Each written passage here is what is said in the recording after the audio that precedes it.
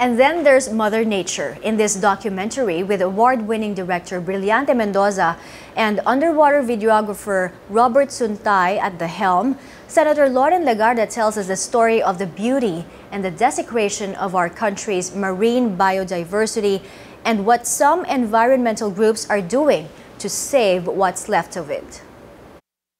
Beneath these blue waters that cradle the islands of the Philippines lies the world's richest marine ecosystem.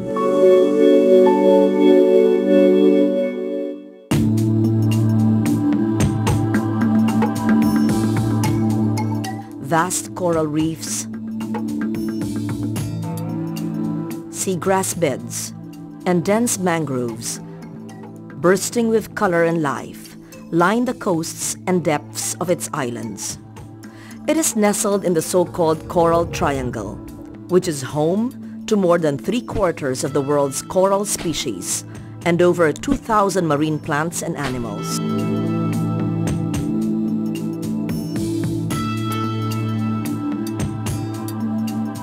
The natural abundance of the seas benefits more than half of the country's 98 million citizens, mostly farmers and fisherfolk living on coastal lands.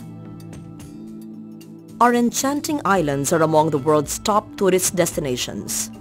Their pristine white sand and crystal clear waters attract thousands of tourists each year. Reefs nurture life in the sea. They are natural habitats for thousands of marine species. A square kilometer of healthy coral reef may yield to about 30 tons of fish every year. Reefs are intricately linked to mangrove forests, seagrass beds, and countless other ecosystems. Nature has truly blessed us with rich marine resources, but these natural treasures are not forever bountiful and the risk of losing them pervades through human abuse, neglect, apathy, and inaction. In the past 30 years, our coastal ecosystems have significantly declined. Now, 70% of our mangroves are damaged. 20% of our seagrass are destroyed. Nearly 90% of coral reefs are endangered. Only 1% of these underwater rainforests remain pristine.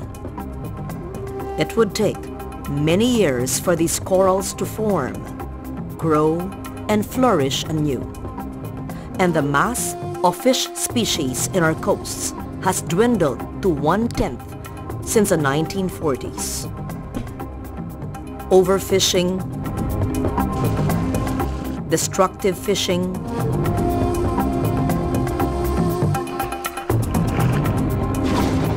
urbanization, and pollution. All these degrade our marine ecosystems. Unpredictable weather extremes brought about by climate change threaten even more marine biodiversity as they destroy the coral reefs. To destroy coral reefs is to endanger the entire marine life. For us, its destruction affects the livelihood of our coastal communities, our food supply, our tourism, and our economy. We need our seas to live. In the 1970s, dynamite and cyanide fishing were common in Apo Island in Negros Oriental. As coral habitats were destroyed, their fish dwindled and the community risked losing their very source of food and income. It was a turning point for the people of Apo Island. In 1982, the town adopted a marine conservation program that stopped these unsustainable fishing ways. The intervention there was a small fish sanctuary. At the time, it was about, what, six hectares and um, it was a way of focusing the people to the fact that they should start uh, looking at the sea as a limited resource, not an, an open resource. Our main objective was to help deploy uh, coral modules These are artificial structures made of natural dead coral so that you can actually encourage new growth. And these were deployed inside the no-take no zone marine sanctuary. The main goal there is first uh, to help provide habitats for the fishes who used to live in living coral. And it's also to stabilize the rubble wherein you are encouraging new growth without being damaged again. Parts of the island were made into a marine sanctuary where locals took turns to guard the coasts from any fishing.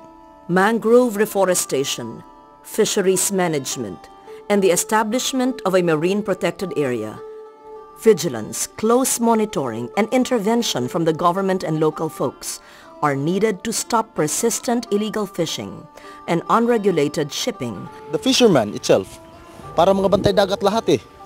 While they go fishing, they are also watching their resources, their uh, territory, that no other fishermen or illegal fishermen that will fish and destroy the, their resources. After three years, the sanctuary and its neighboring areas steadily produced more fish.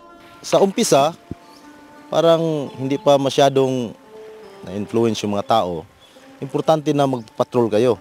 Kasi para makita ng mga tao, gusto mong ipakita yung benefits, yung benepisyo ng mga tao. And then this kind of program, it takes time to get the benefits. Huh? Five years, seven years. Through discipline and cooperation in the community, the marine ecosystem fully recovered after 10 years. The long and difficult path to recovery has taught the people of Apo Island to favor and apply more sustainable ways of fishing. I think Apo Island has become a model for marine um, reserves, not only in the Philippines but also around the world. I think we are very proud of that and we are continually trying to get more information so that we can improve the management of our fisheries through marine reserves.